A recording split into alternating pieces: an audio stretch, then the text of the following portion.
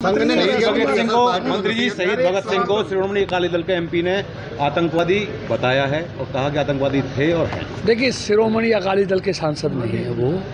वो अलग से उनकी पार्टी है। आ, नहीं उनका अपना दल है श्रोमणी अकाली दल आ, मान करके। तो इसलिए श्रोमणी अकाली दल का उसको सांसद कहना ठीक नहीं है। एक उसकी इस तरह की मानसिकता कोई पहली बार नहीं। अनेकों बार उन्होंने इस तरह के बयान दिए हैं, जो ना देश के हित में है, ना समाज के हित में है।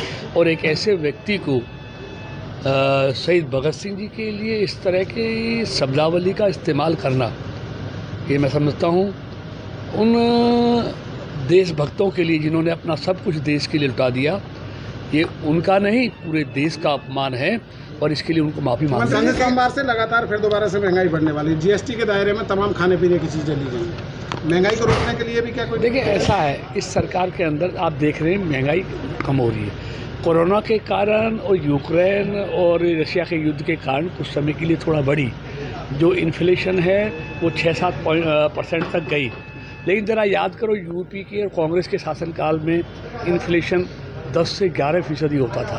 जो एनडीए के राज में मोदी जी के राज में जो दो परसेंट तक दो परसेंट तीन परसेंट। ये टाइम बीइंग है थोड़ा था फिर ये नीचे आने वाला है। बिल्कुल जी को उपराष्ट्रपति का पद का उम्मीदवार बनाया गया एनडीए की तरफ़ से। क्या पहली प्रतिक्रिया क्या है देखिए हमारे केंद्रीय नेतृत्व की सोच का पता चलता है। राष्ट्रपति और उपराष्ट्रपति के लिए किस तरह के व्यक्तित्वों का चयन हुआ है?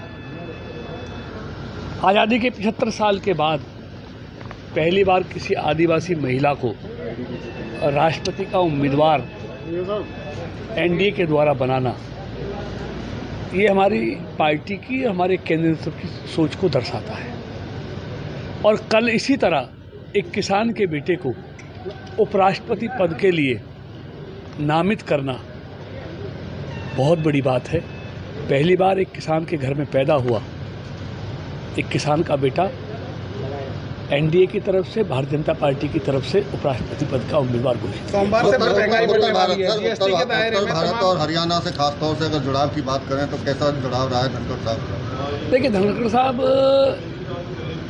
किसान परिवार से हैं किसान के घर में पैदा हुए हैं और एमएलए रहते हुए अच्छे वकील रहते हुए उन्होंने अपना जो सामाजिक जीवन और राजनीतिक जीवन जिया है और जिस तरह के स्पष्टवादी आदमी सच्चे और ईमानदार आदमी वो हैं। इसलिए वो मुझे लगता है देश के लिए भी और समाज के लिए भी एक अच्छा ये तीन दिन के प्रशिक्षण शिविर को समाप्त कर दीजिए जरा क्या निकला इसका निचोड़ को ओवरऑल क्या देखिए देखिए- देखिए बिल्कुल सफल रहा है। हर प्रदेश का जो वरिष्ठ कार्यकर्ता है प्रदेश कार्य समिति के सभी सदस्य हैं। चाहे वो सांसद हैं मंत्री हैं विधायक हैं और या बोर्डों के चेयरमैन हैं जिला अध्यक्ष हैं सभी लोग उसमें सम्मिलित हुए हैं। मतलब मुझे नहीं लगता एक बहुत अच्छी यहाँ पर प्रशिक्षण शिविर हुआ है।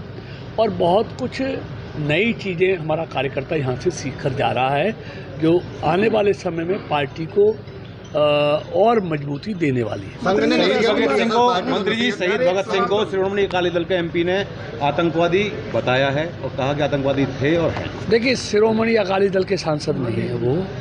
वो अलग से उनकी पार्टी है। अ, नहीं उनका अपना दल है शिरोमणि अकाली दल मान करके। तो इसलिए शिरोमणि अकाली दल का उसको सांसद कहना ठीक नहीं है।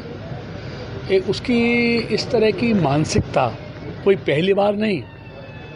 अनेकों बार उन्होंने इस तरह के पहली प्रतिक्रिया क्या है देखिए हमारे केंद्रीय नेतृत्व की सोच का पता चलता है राष्ट्रपति और उपराष्ट्रपति के लिए किस तरह के व्यक्तित्वों का चयन हुआ है।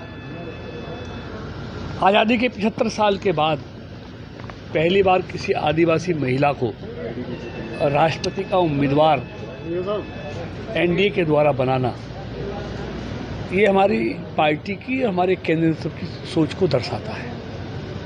और कल इसी तरह एक किसान के बेटे को उपराष्ट्रपति पद के लिए नामित करना बहुत बड़ी बात है।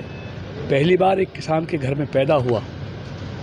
एक किसान का बेटा एनडीए की तरफ़ से भारतीय जनता पार्टी की तरफ़ से उपराष्ट्रपति पद का उम्मीदवार घोषित सोमवार से महँगाई बढ़ने भारत वाली है। जीएसटी के दायरे में भारत और हरियाणा से खासतौर से अगर जुड़ाव की बात करें तो कैसा जुड़ाव रहा है धनखड़ साहब? देखिए धनखड़ साहब किसान परिवार से हैं किसान के घर में पैदा हुए हैं और एमएलए रहते हुए अच्छे वकील रहते हुए उन्होंने अपना जो सामाजिक जीवन और राजनीतिक जीवन जिया है और जिस तरह के स्पष्टवादी आदमी सच्चे और ईमानदार आदमी वो हैं। इसलिए वो मुझे लगता है देश के लिए भी और समाज के लिए भी एक अच्छा ये तीन दिन के प्रशिक्षण शिविर को समाप्त कर दीजिए जरा क्या निकला इसका निचोड़ को ओवरऑल क्या? देखिए देखिए- देखिए बिल्कुल सफल रहा है। हर प्रदेश का जो वरिष्ठ कार्यकर्ता है प्रदेश कार्य समिति के सभी सदस्य हैं। चाहे वो सांसद हैं मंत्री हैं विधायक हैं और या बोर्डों के चेयरमैन हैं जिला अध्यक्ष हैं सभी लोग उसमें सम्मिलित हुए हैं। मतलब मुझे नहीं लगता एक बहुत अच्छी यहाँ पर प्रशिक्षण हुआ है। और बहुत कुछ नई चीज़ें हमारा कार्यकर्ता यहाँ से सीख कर जा रहा है, जो आने वाले समय में पार्टी को और मजबूती देने वाली है।